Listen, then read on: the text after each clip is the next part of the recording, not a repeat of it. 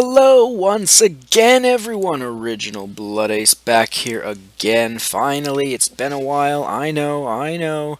Now granted, I did do a Bayonetta 2 episode on OBA Games, but it's been a little while since I did a video here on Original Blood Ace. So we do have some news to talk about, I got a few things, I don't know if I want to do three stories in one video, or if I want to talk about them each in their own video, I guess it'll really just depend on the amount of time it takes me to talk about these things. So, first of all is Mr. Satoru Iwata, we all know who he is, returns to regular work schedule. He is now feeling healthier following his surgery. Now, if you remember, he had his surgery back in uh, around E3 time, and he was not able to go to E3. And he's actually, I guess, been pretty light scheduled all the way until now.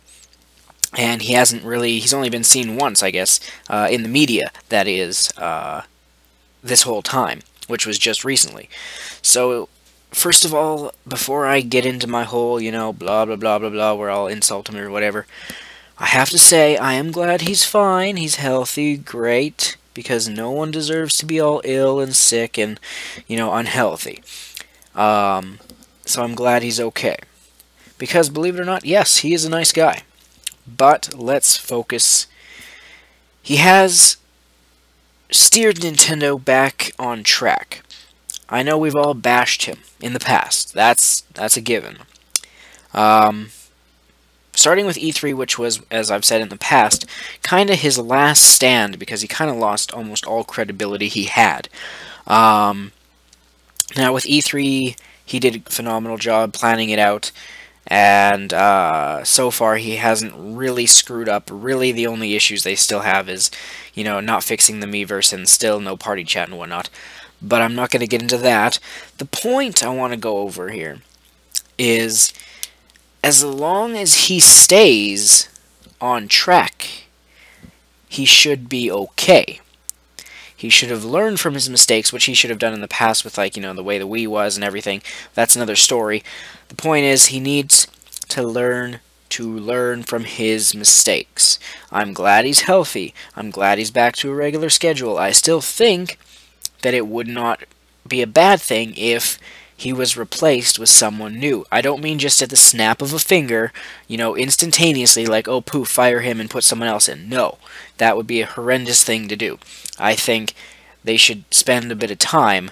I don't know who would do this, who uh, whose job it would be, but to actually find, interview, uh, and train a new president to take over from Iwata. Now, granted, uh, that could potentially end bad, but at the same time, how can you possibly do any worse than Iwata did the past two years? So, like I said, glad he's, you know, healthy, glad he's kind of back to schedule. Just, you know, for me and for a lot of people, Iwata, you're still on thin ice. You've been doing alright since E3. If you can just stay like that, then there won't be a problem. So, yeah, let me just see if there's anything else here. Um, he had made a remark that he lost weight, he felt much healthier. Uh, yeah. Looks like that was about it for this story. You know what? I'm going to talk about them in different videos, because that wasn't that long. Um, I feel like there was one other thing I wanted to talk about, but now I fucking can't remember what the hell it was. Um, you know, I'll give it a second here. Let me see if I can think of it. and it's not going to come to me, so I'll just end the video. But don't worry, I got more videos to do, so stay tuned, more videos coming soon. Real quick, actually. So, see you soon.